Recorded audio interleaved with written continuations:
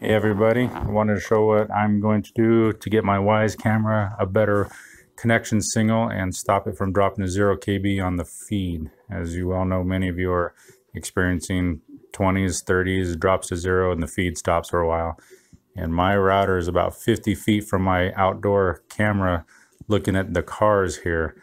So I'm going to make a modification and we will see how it works. But right now, here's how mine typically goes for a connection.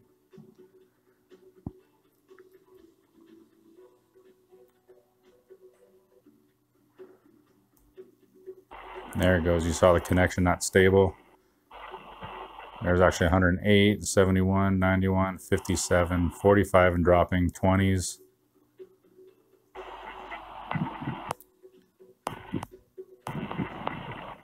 And then it'll drop to zero just fade out. So very unstable and a bit iffy as you can see. Oh, there's 16 and getting ready to die.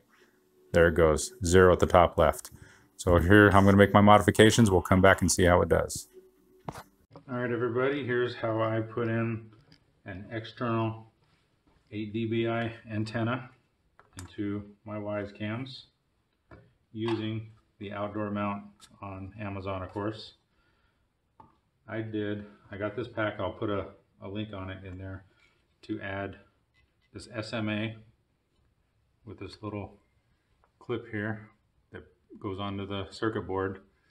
And I drilled a hole just big enough to fit this part through on the very highest part I could from the inside because the wall of the back of the uh, the camera actually touches here and I needed room for this here to have uh, room with the camera at the same time when it's all the way inserted.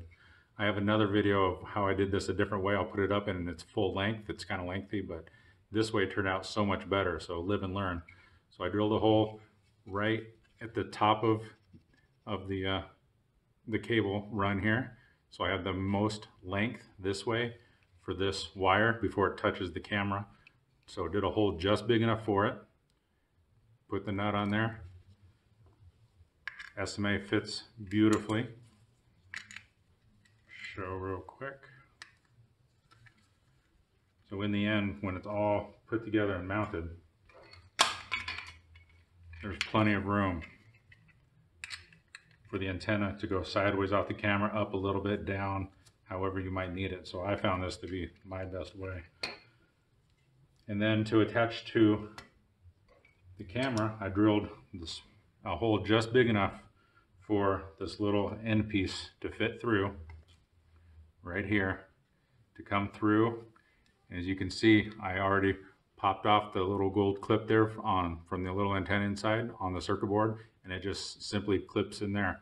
So I'm going to run from the back through here just like this goes through the camera will sit all the way in and I'll just loop that in, connect it. Once that's on, simply put the base back on with these two little base screws, which you'll find super easy. These two little screws come off and the whole thing will literally just peel off in one shot. So take the take your screws out, rotate the foot to the front, and literally just pop it off like that. It will just pop off.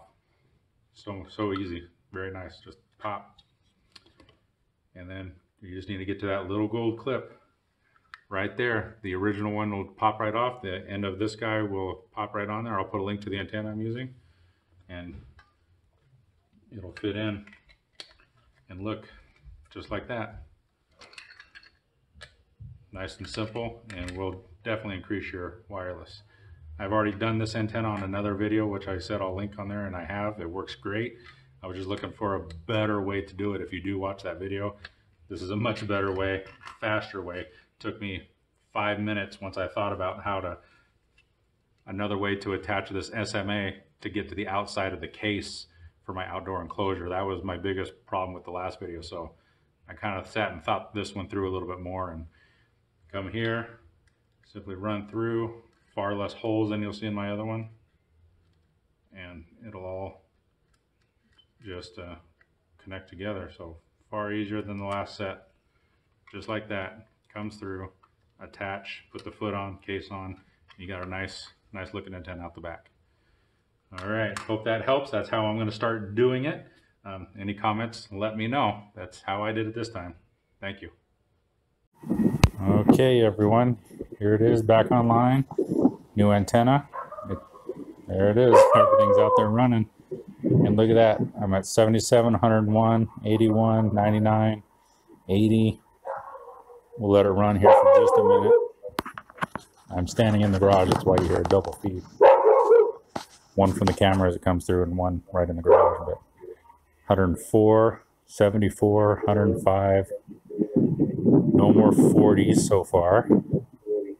Conditions are the same. It's still snowing out, as you can see by the cars. 82, and I'm 113.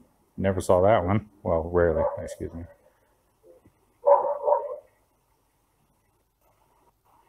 Quite pleased. That's just replacing the antenna.